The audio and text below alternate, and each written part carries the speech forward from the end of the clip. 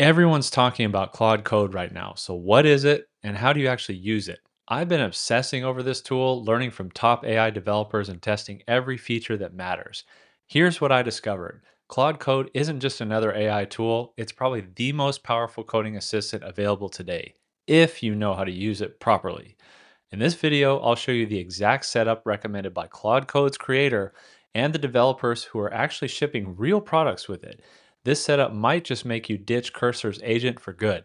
So let's dive in. So the first thing you're going to want to do is go to Claude Code's website and copy and paste this code right here. We'll copy and paste this into a terminal shortly. So we're going to open up a terminal here. Now you see I'm using cursor terminal. I'll get to why I'm doing that in a second. We'll copy and paste this command, press enter, install Claude Code. Usually just takes a few seconds. I've already done this, so I'm not going to re-enter that command. So why am I using the cursor terminal here? Now, Claude Code is a CLI command line interface tool, which means you are not working in IDE like Cursor or Windsurf VS Code. You are not seeing your files get populated, edited, created. But if you're using Cursor, VS Code, or some other code editor, you can see your files over here in the left-hand corner as Claude Code creates them. And you can chat with your files using Cursor. If you have a subscription, you know, why not use it? Like I said, Claude Code code is a bit more powerful than Cursor, in my opinion, but Cursor still has its uses. And I like to kind of use Claude code in tandem like this. Now we're just going to enter Claude in your terminal and press enter and boom, you're started up. Now, if you're doing this for the first time, you're going to have a slightly different setup, just a few steps to go through, which I'll show you in just a second.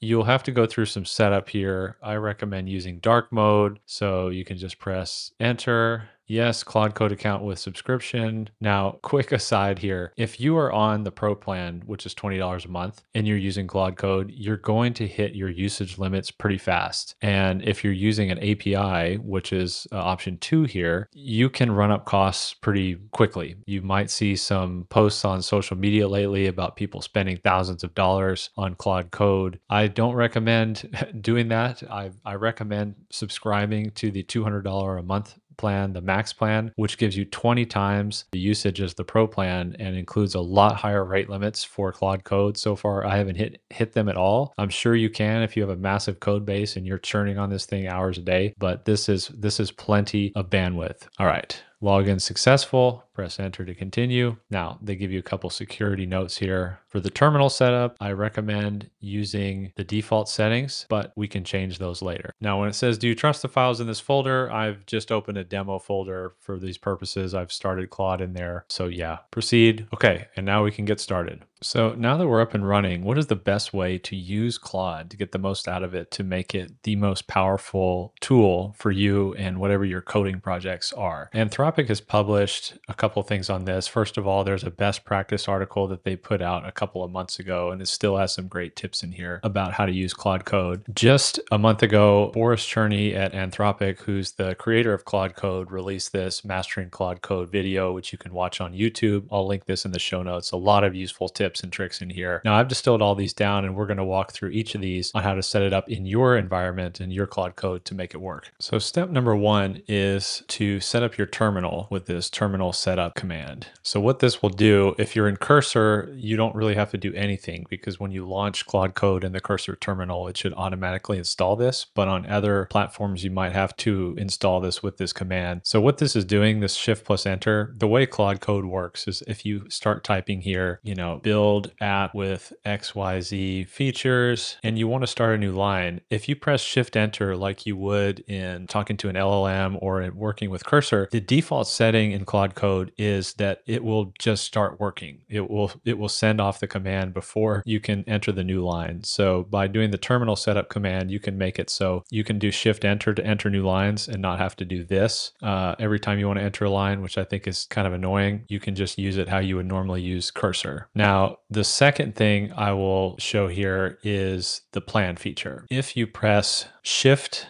plus Tab, Tab, Plan Mode, Now, what is plan mode? This is something that was rolled out recently by Claude Code, and this enables Claude Code to create a plan for you, um, basically to break down a task into micro steps that it can implement one by one and iteratively to better uh, get a better result for you. I highly recommend when you're giving something to Claude Code to use plan mode at each step. That way, you're not burning through a bunch of your usage to try to one shot something that Claude may get on the first try, but it might not if it's too complicated and you haven't planned first. Plan mode enables you to kind of iterate on the plan and approve things before Claude Code goes off and starts writing code for you. The next thing I'll point out is slash init. So once you start working in your project, this command will create a claude.md file. What this basically is, is kind of a README file, but also kind of like a cursor rules file or an agents.md file, if you're familiar with any of those, to be sort of a guidebook of rules, documentation, and steps that govern a project that you're working on. And this is just sort of context. It's a way to store context that you don't have to keep feeding to Claude over and over again with each command. The next thing I'll point out is GitHub integrations. Claude Code ships with native GitHub in integrations, namely the GitHub CLI, and they recommend that you use the GitHub CLI, but there are some other ways to use GitHub with your project. Now, what is the GitHub CLI? I'll put a link down in the show notes for this, but you know, it's just basically GitHub's command line interface. You can make pull requests, you can push code, you can merge code, you can create PRs and issues. Basically, anything you can do on GitHub can interact with the command line. And when, uh, if you want Claude Code to take actions on a code base you have in GitHub, it can do this pretty easily. All you have to do is install this. If you haven't already, you can either do this in a terminal. I'm on a Mac, so brew install GH, or you can just download the package right here at this link. So GH is Claude Code's recommended way to interact with GitHub, but you can also do this. You can type install GitHub app and enable GitHub actions within the GitHub interface. And let me show you how that works. So Claude released this GitHub actions about a month ago. And as you can see in this video that Anthropic released, you can just type at Claude within an issue on GitHub and ask Claude to fix it. And it will go out and do that for you, like running a, a sub agent within each of your issues. So you can see how powerful this is. Now I haven't played around with this too much. I'll show you what I use in just a second. So what I actually like to do is you can use cursors native GitHub integration via MCP, which I've disconnected to just show you guys here. Click connect here. Um, it'll pop up a window where you can just kind of one click connect your GitHub account to, to Cursor, and that'll allow you to push changes uh, that you're making to the code to your GitHub code base. Now, why would you want to do this? So if you've ever used Cursor, you know that there are checkpoints at each step that you take in the code, and you can go back to previous checkpoints if you find that Cursor is just running wild and jacking up your code. You can roll back. So when you're working with Claude Code, there is no version control. There are things that you can do to build in version control on your own, and GitHub I find is the best way to do that. Basically, pushing sort of versions and checkpoints early and often to GitHub will allow you to have version control so that if Claude Code messes up your code or does something you don't want, you can roll back to a previous version on GitHub. The other super cool thing about Claude Code I want to show you guys is that Claude Code is fully multimodal. Even though it is a command line interface,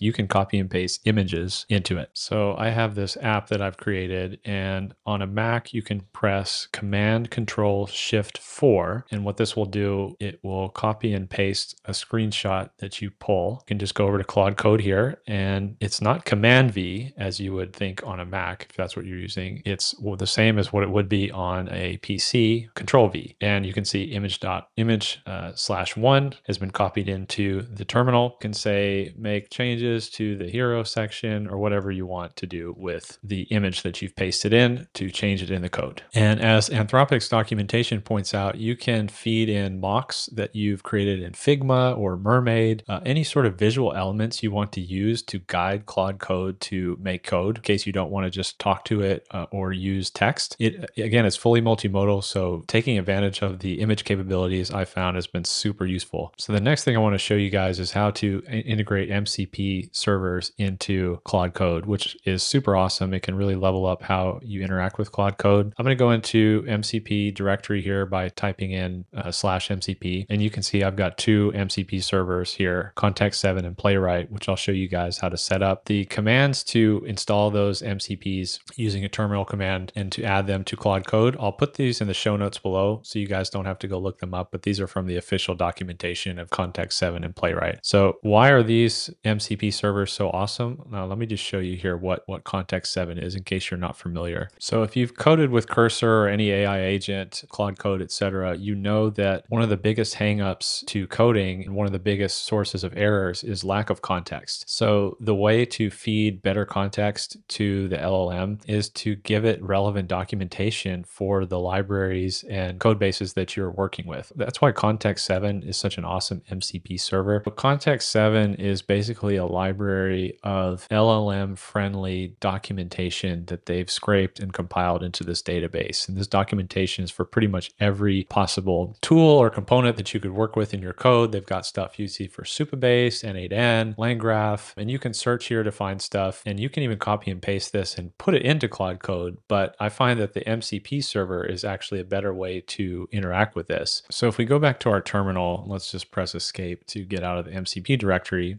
we can tell Claude Code to pull documentation. So we can just say use the context 7 MCP to pull the documentation for, let's say, N8N. So it will go and retrieve that. It will use one tool called library ID to actually, you know, sort of match the request of what you're looking for, in this case, N8N with what's in the context 7 database. And then it will use another tool to actually pull the documentation. Okay, so let's proceed with that. It is pulling the relevant documentation now from context 7 for N8N. And basically, you can use this. I've asked a pretty generic question, but you can ask very specific things about how to do a specific task within this documentation or a specific feature within the documentation that you're working with or you're having trouble with, and basically use that context to get a better result from Claude Code. The other MCP I want to show you guys is Playwright. If you're not familiar with Playwright, it's basically a browser automation tool. You can use it to take screen screenshots of interfaces that you're working on. You can use it to basically interact with the browser through the tool that you're working with, whether that be Cursor or Claude Code. And that makes it easier for uh, the AI agent to iterate on the interface rather than having to manually take screenshots of everything and pass it in, which you totally can do. Playwright, I think, speeds up things quite well. So one of the prompts that was actually used in Boris's masterclass on Claude Code that I mentioned earlier is to basically, if you want to pass a mock into Claude Code. Let's say you have a mock PNG. You then screenshot it with Playwright, or in the case of the masterclass, they use Puppeteer, which is another tool that is like Playwright, and iterate until it looks like the mock. But this is super powerful. I think this works really well. I find that this produces a much better UI to get the result that you want from a screenshot if it can iterate through Playwright and actually see the progress that it's making towards your goal. The next tip that I've learned uh, or that I want to show you guys is let's say you start this this and you're like, wait a second, I don't want to do that, just press escape and it will stop Claude Code from doing anything. So pressing escape once interrupts the process. So you maybe you can retype the prompt or you can stop Claude Code from doing something you don't want. If you press escape twice, it will pull up the previous messages that you've created in Claude Code. So this is a way to kind of access chat history. And then another command that I would use if you are using a very long chat with Claude Code, the more you're running up against the context window, the worse results you're going to get. So what you can do to clear the conversation history and free up context is to type forward slash clear. Now you see there's also a command compact that will also clear the conversation history, but keep a summary within context. And the summary is basically a compact summary that the underlying LLM creates of the conversation history that you've had with Claude Code. Now I've had mixed results with this and I've seen a lot of other creators complaining about it on YouTube and X. So there are some kinks to work out with compact summary. You know, I might release a future video on some of the tools that I'm working with to get around that, but that is a deep rabbit hole to go down and uh, is outside the scope of this tutorial. So I'll quickly run through some final tips